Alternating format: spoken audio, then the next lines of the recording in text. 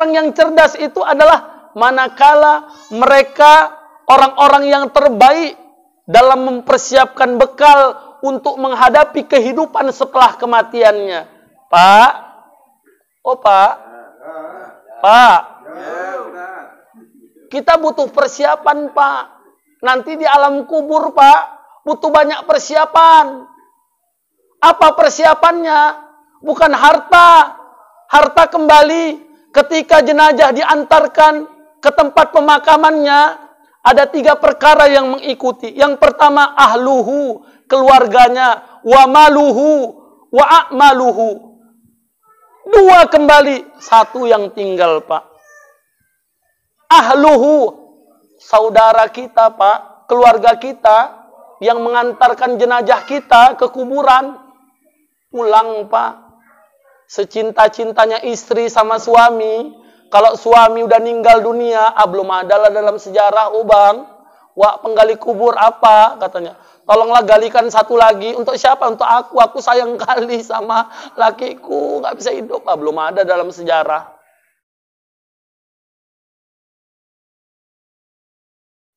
Bismillahirrahmanirrahim. Assalamualaikum ورحمة الله وبركاته.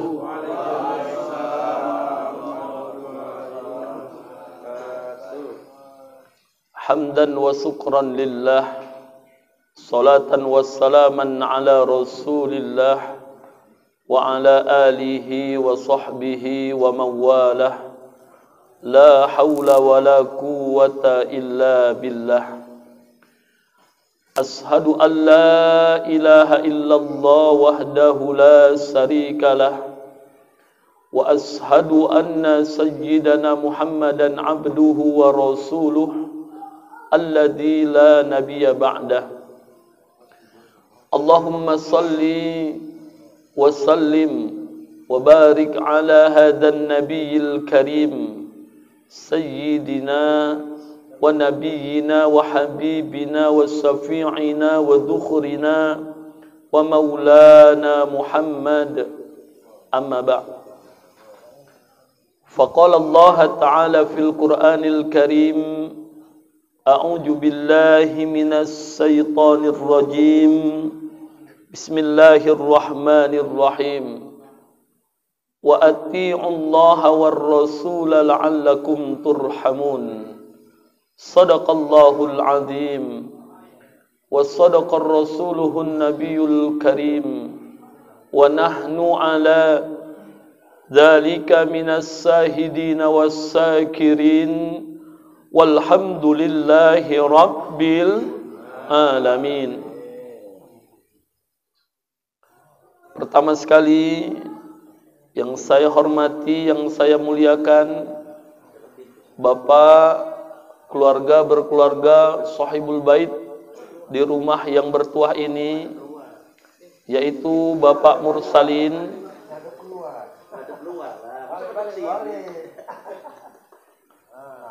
Yang saya hormati, yang saya muliakan Ayahanda Bapak Ketua Badan Kenajiran Masjid Babu Salam serta segenap jajaran kepengurusannya yang saya hormati ayahanda kami Bapak Ashab Haris yang senantiasa berhadir untuk meliput untuk merekam dakwah yang senantiasa disampaikan terkhusus di daerah Sukamaju dan sekitarnya terutama di Masjid Babu Salam. Yang besar tak dihimbau gelar yang kecil tak disebut nama. Mudah-mudahan kita semua akan dimuliakan oleh Allah Subhanahu wa taala. Amin. Amin ya rabbal alamin. Bersyukur kita kepada Allah dengan senantiasa kita mengucapkan alhamdulillahi rabbil alamin dan bersolawatlah kita kepada baginda Rasulullah sallallahu alaihi wasallam dengan bersama kita mengucapkan Allahumma salli ala sayyidina Muhammad wa ala ali sayyidina Muhammad. Mudah-mudahan kita semua termasuk hamba-hamba Allah yang abdan sakura. Amin. Artinya hamba-hamba Allah yang pandai bersyukur. Dan mudah-mudahan kita juga termasuk golongan umatnya baginda Rasulullah sallallahu alaihi wasallam yang atas izin Allah kelak kita akan mendapatkan syafaat dari baginda Rasulullah sallallahu alaihi wasallam. Amin. Amin ya rabbal alamin. Bapak orang tuaku, tuan-tuan guru yang dimuliakan oleh Allah Subhanahu wa taala. Baginda Rasul bersabda, qala Rasulullah sallallahu alaihi wasallam, Man kharaja fi talabul ilmi fahuwa fi sabilillahi hatta yarji' Artinya kata baginda Rasul Barang siapa yang keluar untuk menuntut ilmu Maka mereka akan mendapatkan ganjaran pahala jihad fi sabilillah Sampai mereka kembali ke rumah mereka masing-masing Semoga niat ikhlas kita Duduk di majelis ilmu ini mendapatkan nilai pahala jihad fi sabilillah di sisi Allah. Amin. Amin ya rabbal alamin. Siapa yang kembali kepada Allah, siapa yang wafat membawa nilai pahala jihad fi sabilillah di sisi Allah, maka kelak mereka akan dimasukkan oleh Allah ke dalam surganya Allah. Semoga nilai pahala jihad fi sabilillah itu Allah berikan kepada kita semuanya. Amin. Amin ya rabbal alamin. Dalam sabda yang lain Rasul mengatakan kun aliman au muta'allaman au mustami'an au muhibban wala takun khamisan fatuhlik. Artinya kata Nabi, jadilah engkau menjadi golongan orang-orang yang berilmu kata Nabi atau engkau menjadi golongan orang-orang yang senang menuntut ilmu kata Nabi atau engkau menjadi golongan orang-orang yang senang mendengarkan ilmu kata Nabi atau engkau menjadi golongan orang-orang yang mencintai ilmu kata Nabi dan janganlah engkau menjadi golongan yang kelima engkau akan menjadi orang-orang yang celaka di hadapan Allah Subhanahu wa taala. Siapa golongan yang kelima itu? Mereka adalah kebalikan dari empat golongan pertama yang telah disebutkan. Mereka tak berilmu, tak mau menuntut ilmu, tak suka mendengarkan ilmu, dan tak mencintai ilmu. Maka merekalah orang-orang yang akan mendapatkan kecelakaan di sisi Allah Subhanahu wa taala. Ini kan parah ini, Pak. Dengarkan ilmu aja nggak mau, dengarkan. Ini Wak Buyung jumpa Wak Ucok. Wak Buyung ngomong sama Wak Ucok, "Cok," katanya. "Apa, Wak?" "Kos malam wirid." "Wirid." "Ada ustadznya?" "Ada, Wak," katanya. Apa isi ceramahnya katanya? Aku nggak tahu orang aku tidur katanya. Oh, tidur dia. Tapi Wak Buyong ini tadi dapat pahala. Kenapa? Tidurnya di majelis il, ilmu. Nggak tahu dia isi ceramahnya. Yang tidur aja di majelis ilmu tenang dapat pahala banyak. Apalagi yang nyimak, dengarkan, tekun, Sampai-sampai ceramah itu diresapi dalam hati, ya Allah. Dapat ilmu yang berkah. Apa ilmu yang berkah itu? Ilmu yang apabila sudah dipahami, ringan kita untuk mengamalkannya. Semoga ilmu itu kita dapatkan. Amin. Amin ya Rabbal Alamin.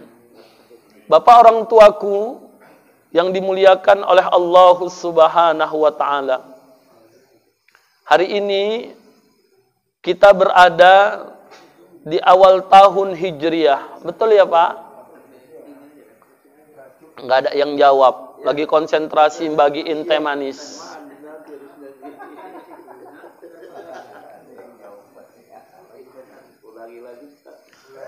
Bapak-bapak, orang tuaku yang dimuliakan oleh Allah, hari ini kita berada di awal tahun Hijriah. Betul ya, Pak? Iya. Baru separuh dari bulan pertama di bulan Hijriah. Hari ini tanggal 18 Al-Muharram atau tanggal 19 Al-Muharram. Tanpa terasa, awal tahun Hijriah ini sudah berlalu sudah kita lewati separuh di bulan Muharram. Waktu berjalan begitu cepat, Pak. Waktu berjalan begitu ringkas, Pak. Tanpa terasa ketika tahun berganti, ayahandaku sekalian, umur kita pun berubah dalam bilangannya. Betul, Pak ya? Pak Ashab yang semalam umurnya 40 tahun karena berganti tahun dari 1443 Hijriah berganti menjadi 1444 Hijriah bertambah umurnya setahun 41 tahun walaupun bulannya belum jumpa mungkin bulannya bulan November tapi tahunnya berganti Pak secara otomatis umurnya bertambah. Betul Pak ya? Umur bertambah, namun pada hakikatnya, betul kata ayahanda di samping awak. Beliau mengingatkan, namun pada hakikatnya jatah usia kita, ketetapan umur kita, yang Allah telah tentukan kepada kita masing-masing secara otomatis semakin berkurang waktunya hidup kita di dunia Allah yang fana ini. Maka dari itu, Bapak orang tuaku yang dimuliakan oleh Allah Subhanahu wa taala, apa yang harus kita lakukan ketika kita sadari bahwasanya karena waktu berjalan otomatis usia kita pun berkurang, apa yang harus kita perbuat? Tentunya Bapak orang tuaku, mari kita mengintrospeksi diri kita masing-masing, Pak. Mari kita mengkaji diri kita masing-masing, Pak. Sudah sebaik apa ketakwaan kita kepada Allah Subhanahu wa taala? Sudah sebaik apa keimanan kita kepada Allah Subhanahu wa taala? sahabat Nabi yang kedua yang bernama Umar bin Khattab radhiyallahu anhu beliau pernah mengungkapkan sebuah ungkapan yang begitu dalam maknanya yang kata beliau dalam ungkapannya beliau menyatakan hasibu anfusakum qabla anta yuhasabu yang artinya kata beliau, hendaklah kalian menghisap diri kalian sebelum kalian dihisap oleh Allahu Subhanahu wa taala. Maka beliau mengatakan kepada kita, hisap-hisaplah dirimu terlebih dahulu sebelum Allah yang akan menghisapmu. Kata Sayyiduna Umar bin Khattab radhiyallahu anhu. Artinya apa, Pak? Kalau kita yang menghisap diri kita sendiri, Pak, kalau mungkin yang terdahulu banyak dosa, banyak maksiat, banyak kekhilapan yang kita kerjakan ketika Allah berikan kehidupan kepada kita. Mungkin karena amanah hidup itu masih dititipkan Allah kepada kita, kita bisa merubah diri kita, Pak. Dari maksiat berubah menjadi taat. Dari keingkaran berubah menjadi kepatuhan kepada Allah Subhanahu wa taala. Dari kesyirikan berubah kepada keimanan yang kokoh kepada Allah Subhanahu wa taala. Tapi bayangkan Pak, coba renungkan ayahanda, kalau Allah yang menghisap kita Pak, kalau Allah yang memintai pertanggungjawaban kepada kita Pak, hari itu tidak ada waktunya bagi kita untuk menyesali semua kehilapan, kesalahan, dosa-dosa yang pernah kita lakukan ketika kita hidup dulu, Pak. Yang ada adalah pertanggungjawaban di hadapan Allahu Subhanahu wa taala. Sedikit kebaikan yang kita kerjakan, walau kebaikan itu hanya sebesar biji jarah, biji sawi, sebesar debu, itu akan dibalas oleh Allah Subhanahu wa taala. Faman ya'mal mithqala dzarratin khairan yarah dan sedikit keburukan yang kita kerjakan walau keburukan itu hanya sebesar biji jarah, biji sawi, sebesar debu, itu pun akan dibalas oleh Allah Subhanahu wa taala. Wa man ya'mal mithqala dzarratin Semua akan dimintai pertanggungjawaban oleh Allah Subhanahu wa taala. Maka di awal tahun yang baru ini, Bapak orang tuaku yang dimuliakan oleh Allah Subhanahu wa taala, saya ingin mengajak kepada kita semuanya, mari kita berhijrah, Pak. Tinggalkanlah keburukan tahun yang lalu yang pernah kita perbuat, baik yang disengaja maupun tanpa sepengajaan kita, Pak. Baik yang secara johir ataupun yang secara tersembunyi Pak. Mari kita tinggalkan keburukan di tahun yang lalu. Mari kita ganti tahun ini 1444 Hijriah dengan kebaikan nilai-nilai ketakwaan kepada Allah Subhanahu wa taala kata Nabi dalam sabdanya khairun nas man tala'a umuruhu wa hasanu amaluhu wa sarrun nas man tala'a umuruhu wa sa'a amaluhu. Sebaik-baik manusia di antara kamu kata Nabi.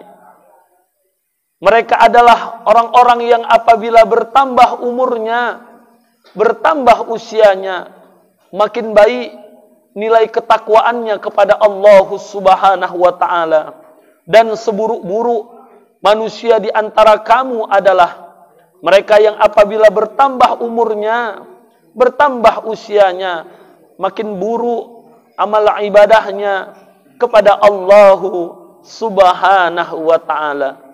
Nabi pernah menyampaikan sebuah nasihat untuk kita umatnya. Apa yang disampaikan oleh Nabi dalam sabdanya? Kata Nabi, Qala Rasulullah sallallahu alaihi wasallam Aktsaruhum lil mauti dzikran wa ahsanuhum lima ba'dahu isti'dadan ulaika akiyas Kata Nabi adalah sesungguhnya orang-orang yang paling banyak mengingat perkara kematian dan orang-orang yang paling baik mempersiapkan bekal untuk menghadapi kehidupan setelah kematiannya ulaika akyas sesungguhnya merekalah orang-orang yang cerdas kata baginda Rasulullah sallallahu alaihi wasallam. Jadi Bapak orang-orang tuaku yang dimuliakan oleh Allah Subhanahu wa taala orang yang cerdas itu bukan hanya mereka yang punya gelar akademik yang panjang, baik di depan maupun di belakang namanya, Pak. Kalau gelar akademiknya panjang, di awal dan di belakang namanya, tapi waktu hidup nggak mau tunduk sama Allah Subhanahu wa taala, sungguh mereka termasuk orang-orang yang bodoh, orang-orang yang tertipu oleh kesenangan, oleh kenikmatan dunia yang sifatnya memperdaya pak panjang gelar namanya tapi nggak mau sujud sama Allah apa-apa coba tapi kata Nabi orang yang cerdas itu adalah manakala dalam kehidupannya banyak ingat kematian bagus nih Pak, mengingat kematian nih. Bagus. Supaya apa? Supaya kita bisa mawas diri dalam menjalani kehidupan yang Allah amanahkan kepada kita, Pak. Jadi orang kalau banyak ingat mati, hidupnya terkontrol, mawas diri, nggak sembarangan. Ini contoh ayahanda. Wak Buyong jumpa Wak Ucok. Eh tapi bukan Wak Buyong sini yang ku bilang ya. Jangan marah, Wak Ucok nanti ku jegat kok ya. Was kok ya, manggil-manggil namaku ya. Bukan. Enggak, yang lain lah ya kan. Enggak apa-apa kan Pak, nyebut nama aja. Wak Buyong jumpa Wak Ucok. Wak Buyong kebetulan hobinya lagayam. Or, or, or. Oh, kalau udah megang ayam, dialah paling ahlinya. Ini kalau ayam model kayak gini, lehernya pendek, kepalanya agak bungkuk. Oh, ini paten nih kalau dilaga nih katanya. Ngerti dia model-model ayam. Ini kalau tajinya agak lurus gini, ah, ini lemah ini katanya. Tahan main pertama aja ini katanya. Ngerti dia. Rupanya jumpa Wak Ucok. Rupanya waktu jumpa, karena Wak Buyung ini ahli ayam laga, biasalah mengajak ke gelanggang. Cok, sinilah kau cok katanya. Apa sih Wak? Yuk main kita yuk. Ke mana Wak? Biasa gelanggang katanya. Dapat-dapat lempul lumayan lah katanya. Rupanya dibawa lah si ayam tuh tadi sama Wak Buyung. Paten ayam nih. Ya Wak, ih mantap kali katanya. Menang nih. Jelas kau nanti. Ku kasih kau lempul. Aku mau naruh cepek nih. Kan lumayan. Kau lempul, aku lempul katanya. Ma, di otaknya ada duit aja ya kan ya Allah. Rupanya begitu melangkah, wa ucok kesandung batu. Gedebuk, aduh katanya, astagfirullahaladzim. Ngomong dia sama Wak Buyung. Wak Buyung nggak jadilah aku ngawani Wak ngelagayam. Loh kenapa katanya. Kayak-kayaknya nih tanda nih Wak Buyung. Loh kok tanda kenapa katanya. Kesandung batu aku tadi katanya. Loh kenapa kalau kesandung batu? Mungkin ini peringatan Allah untuk kita, Wak Buyung. Aku pun teringat jadinya Wak Buyung. Teringat apa katanya? Semalam aku Bali nang kampung orang rumahku. Di mana? Galang katanya.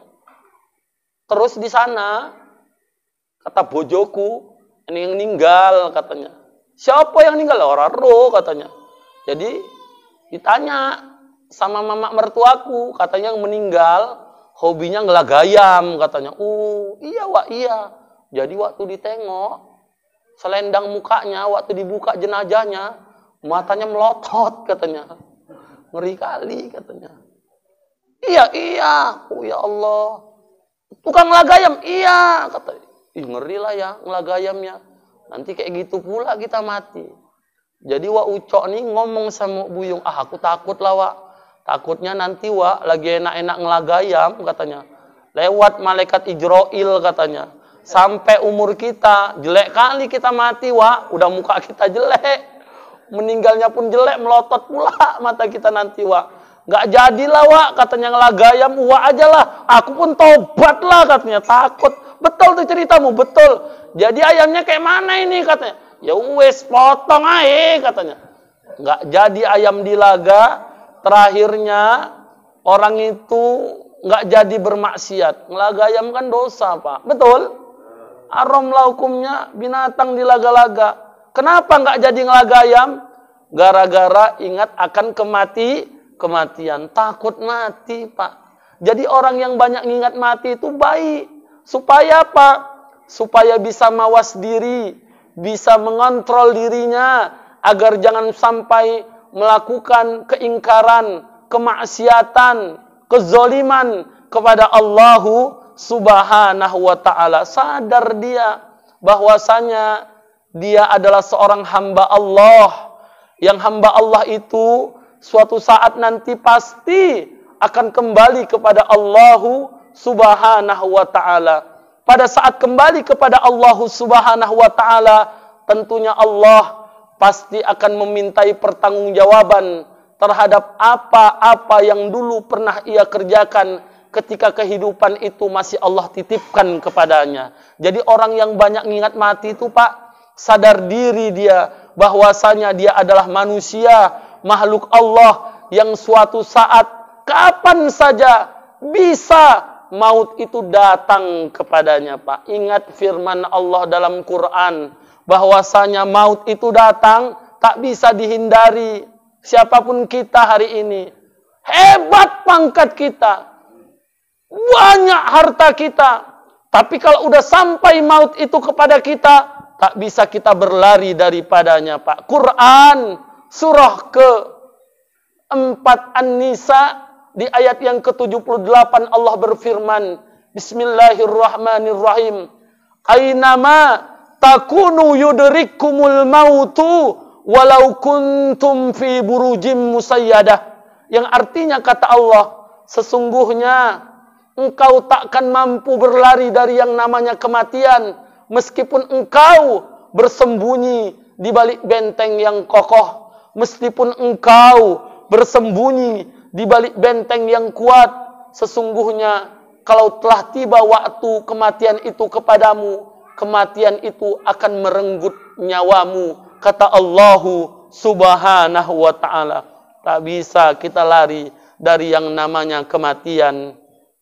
Kematian itu tak bisa ditunda-tunda. Dimajukan apalagi tak bisa.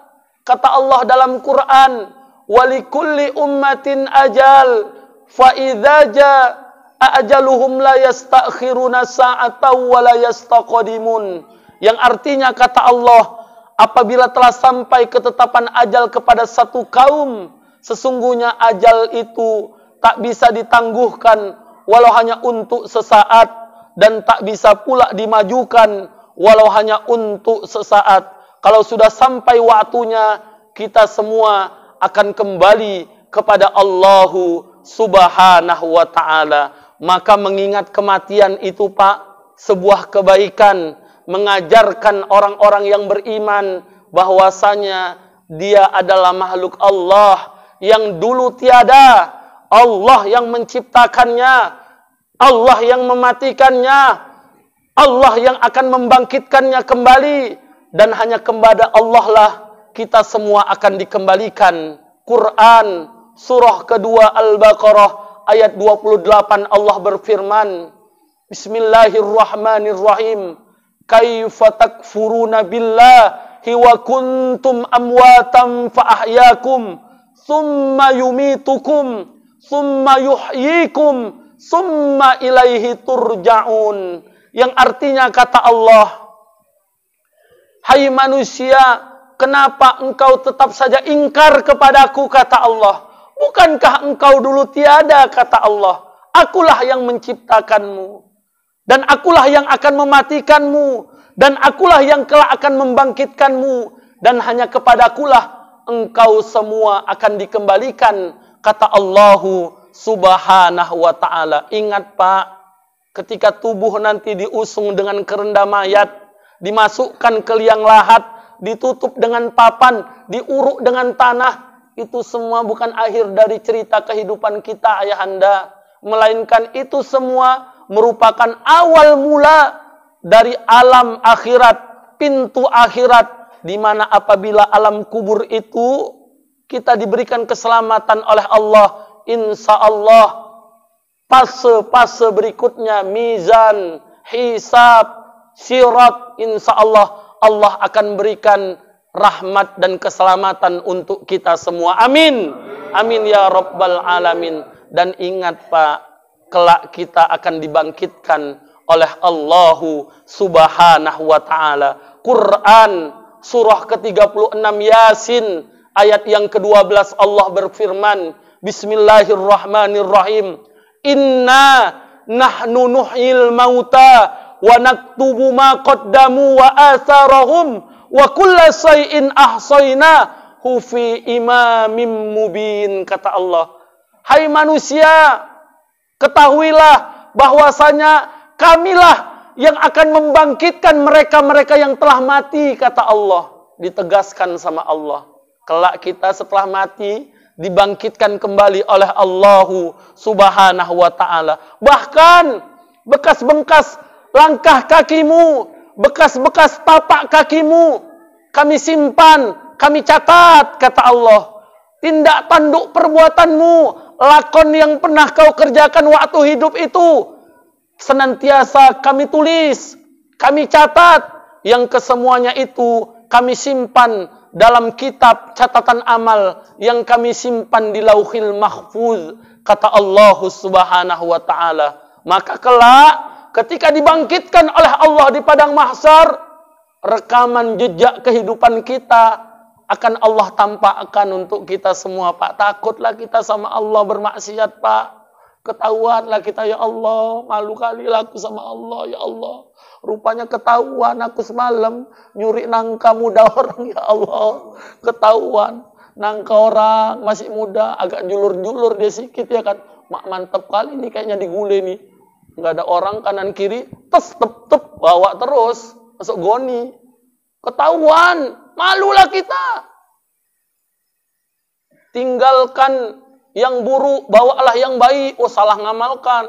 Ke masjid, bawa selop swallow selang-seling Begitu sampai masjid mak karpil. Kata Ustaz tuh bawa yang baik-baik. Selap karpil orang dibawa. Ya Allah. Kasus nih ketahuan kita nanti pak. Malulah kita di hadapan Allahu subhanahu wa ta'ala. Ketika dibangkitkan. Tak bisa beranjak tapak kaki kita. Sebelum ditanya oleh Allah tentang empat perkara. Lantajula qadama abdin yaumal qiyamah.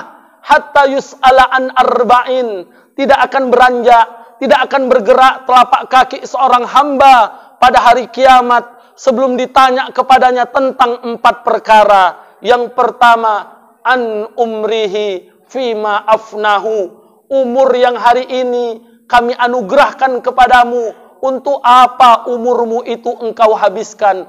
Umur ditanya oleh Allah, bukan tanggung pak. Ayah anda berapa usia sekarang ayah anda? 60 kayak usia lempul aja ya kan. Wet muda ya anda nih ya Allah. 60 tahun ditanya, 60 tahun tuh. Ayah anda berapa ayah anda? 54, kayak usia 45 aja ya Allah. Ditanya, gigi masih utuh lagi ya Allah. Hebat itu ah. Tapi umur kita nanti ditanya sama Allah. Untuk apa kau habiskan umurmu itu? Apakah kau bermaksiat selalu? Lupa sujud kepadaku? maka kita akan mendapatkan kehinaan di hadapan Allah Subhanahu wa taala. Yang kedua, wa an sababihi fima ablahu, masa mudamu, masa kuatmu, masa hebatmu, untuk apa kau pergunakan masa itu? Masa muda kita ditanya oleh Allah Subhanahu wa taala. Maka jangan pernah kita berucap, "Wah, enggak sholat, wah, nantilah tunggu tua," katanya ya Allah. Apa yakin dia sampai tua umur kita? Nggak ada yang tahu Pak. Umur manusia. Jangan kita tunggu-tunggu berbuat baik. Beramal soleh kepada Allah subhanahu wa ta'ala.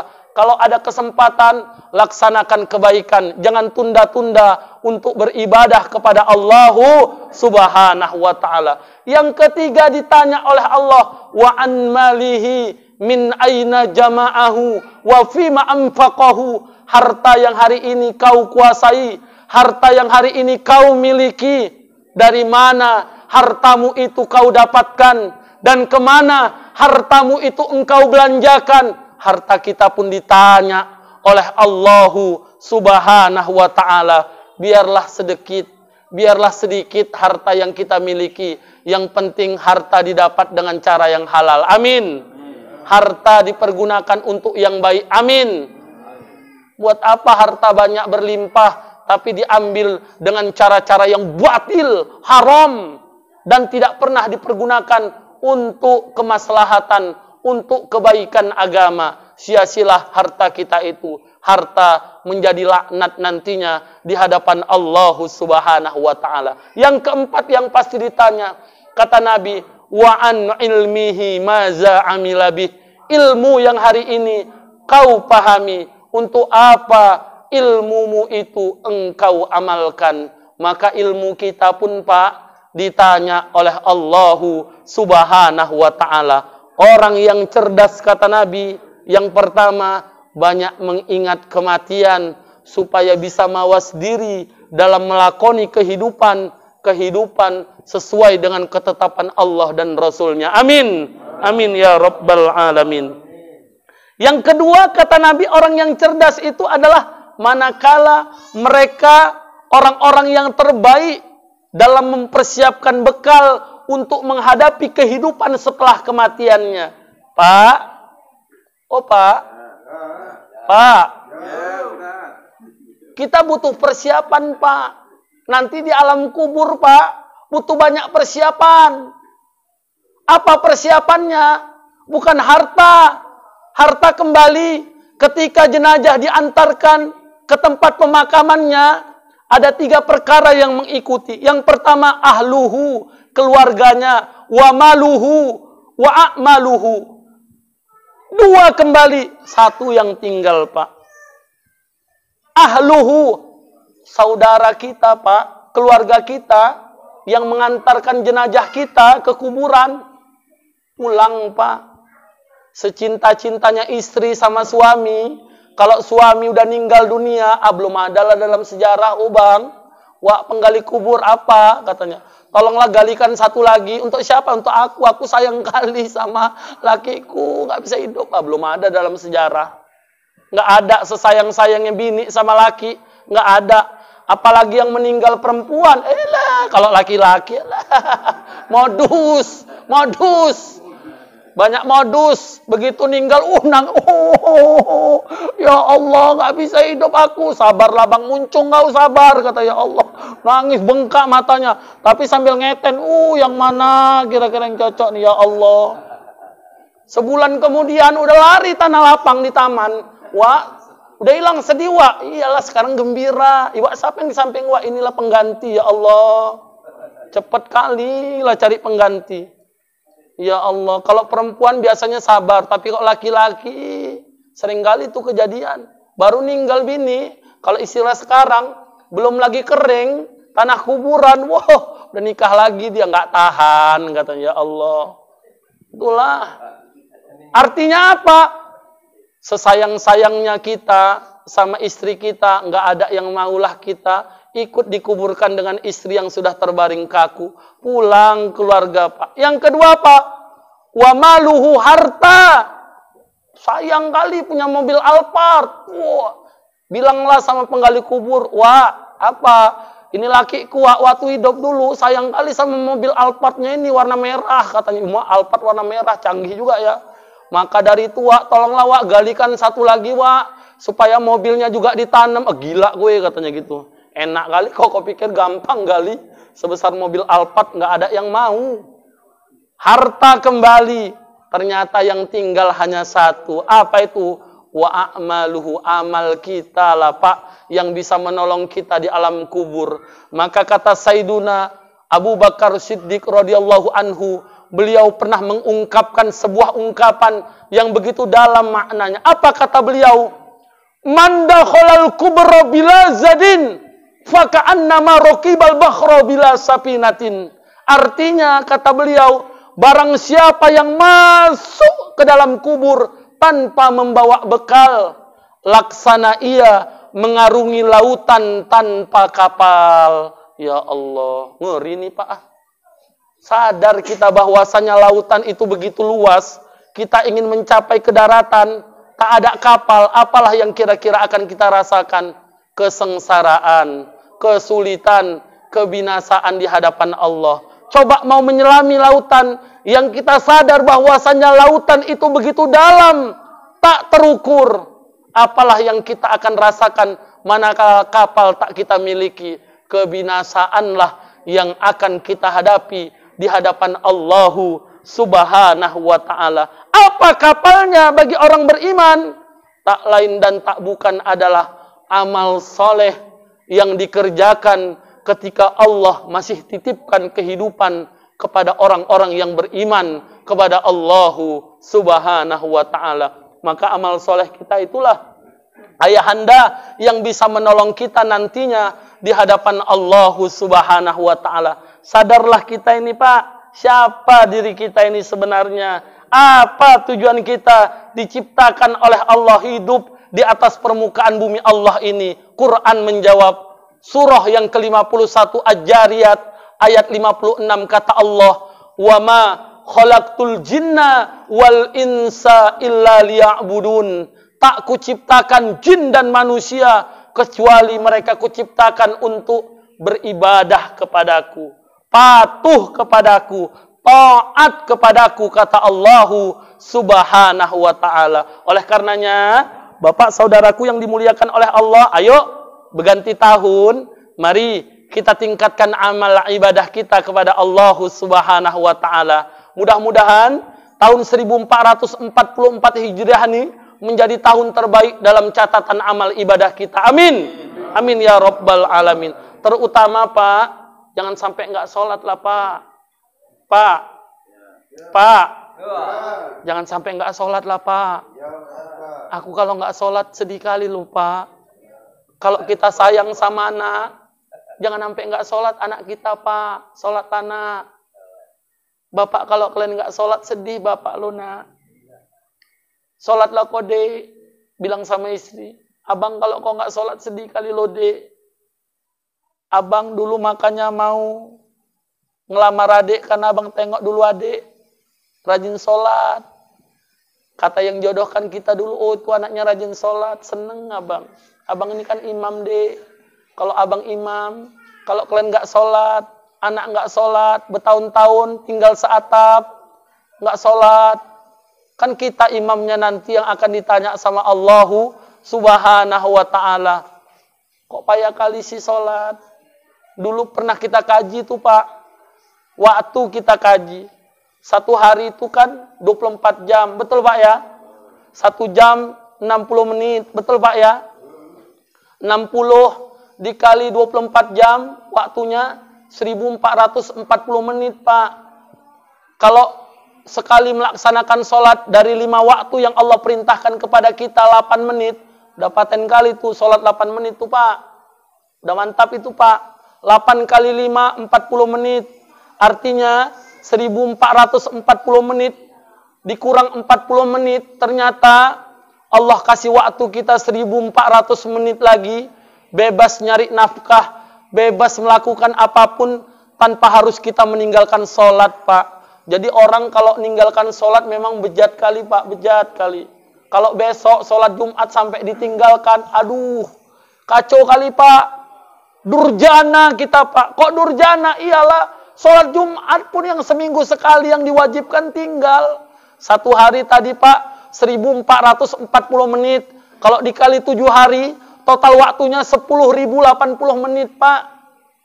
Kalau sholat Jumat di Masjid Babu Salam paling lama kita taruhlah satu jam 60 menit. Sholat dua rakaat, mendengarkan khutbah yang disampaikan sama khotib Jumat 60 menit. Artinya 10.080 menit kurang 60 menit masih ada total waktu 10.020 menit lagi bagi kita bebas mencari nafkah tanpa harus meninggalkan sholat Jumat ayahanda. Maka parah kita kalau sampai tega ninggalkan sholat Jumat, Pak. Bejat kali pun. Jahat kita, Pak. Kita hadir kemari karena nikmat Allah. Betul? Udah tidur kayaknya nih. Betul, Pak? Panggilan iman, ingin bersilaturahim, itu nikmat Allah tuh. Kesehatan, kelapangan waktu, nikmat Allah tuh. Bisa mendengar nikmat Allah tuh, Pak. Penglihatan, nikmat Allah itu, Pak semua dikasih nikmat sama Allah. Maka dalam Quran Allah menantang orang yang ingin coba-coba menghitung nikmat Allah itu. Quran surah ke-16 An-Nahl ayat 18. Wa in ta'uddu ni'matallahi la tuhsuha. Innallaha laghafurur rahim. Jikalau kamu kata Allah ingin menghitung setiap nikmat-nikmat yang telah kuberikan kepadamu, la tuhsuha kau takkan mampu menghitungnya. Innallaha laghafurur rahim. Sesungguhnya Allah Maha Pengampun lagi Maha Penyayang. Kalau waktu sudah kita analisa, kita analisa nikmat Allah yang lain. Semalam sudah saya sampaikan itu, Pak. Apa itu? Oksigen yang kita hirup setiap waktu, Pak. Itu kan nikmat Allah, betul, Pak? Manusia hidup butuh oksigen. Ternyata berdasarkan penelitian pakar kesehatan ilmu kedokteran, orang sehat butuh oksigen satu harinya, oksigen murni yang masuk ke tubuhnya 550 liter oksigen murni, Pak, tanpa kita sadari. Ini mohon maaf, Pak, Kalau ayahanda, ini awak nggak doain, mana tahu sampai masuk kita rumah sakit saudaraku, Sundari, Bunda Tamrin, Murni Teguh, Royal Prima, Columbia Asia, masuk kita ke sana Pak, di opnem kita Pak masuk oksigen ke hidung, satu liter oksigen yang masuk ke tubuh Bapak, Bapak harus tebus biayanya adalah 25 ribu rupiah Pak. Itu satu liter. Padahal orang sehat, gratis, di luar rumah sakit, butuh 550 liter oksigen.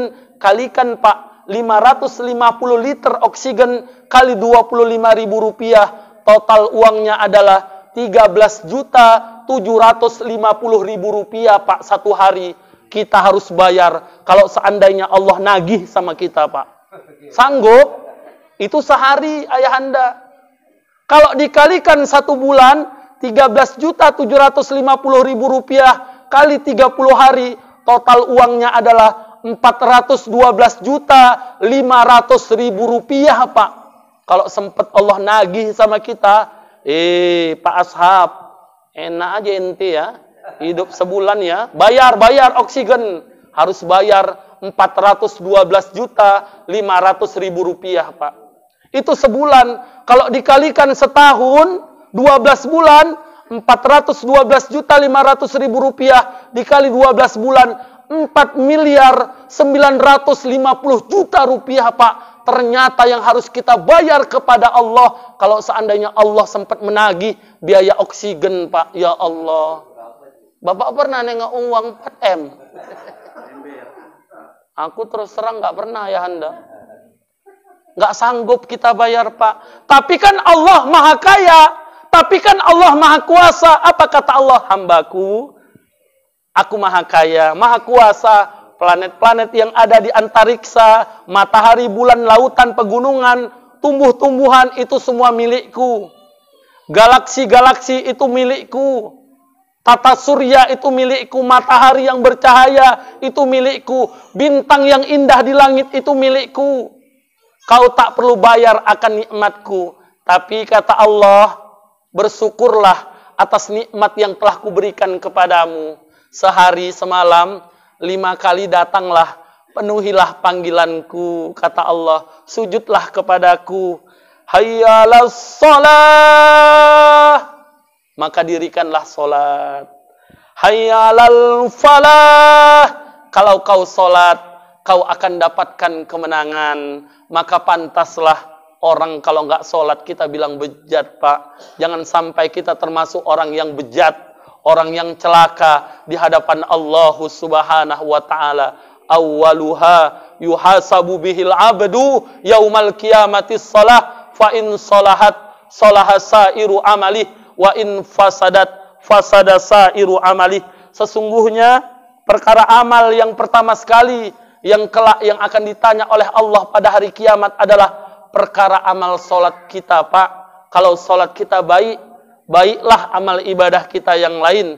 Sedekah jadi baik, haji dan umroh jadi baik, perwiritan silaturahim jadi baik. Tapi kalau sholat tak baik, hancur amal-amal ibadah kita yang lain di hadapan Allahu subhanahu wa ta'ala. Man roha ilal masjidil jamaah fakhot watun tamhu sayyi'atan wa khotwatun tu'tabulahu hasanatan jahiban waroji'an tiap langkah kaki seseorang yang dilangkahkan untuk datang ke masjid berjamaah, satu langkah kakinya adalah penggugur dosa di hadapan Allah Subhanahu wa taala. Dan satu langkah kaki yang berikutnya adalah catatan nilai amal di hadapan Allah Subhanahu wa taala. Jahiban warojian ketika pergi dan ketika pulang mudah-mudahan Allah berikan hidayah untuk kita semua amin Amin ya rabbal alamin. Bapak dan orang-orang tuaku, mungkin hanya ini yang dapat disampaikan. Lebih dan kurang saya mohon maaf. Kepada Allah saya memohonkan keampunan. Wabillahi taufik wal hidayah.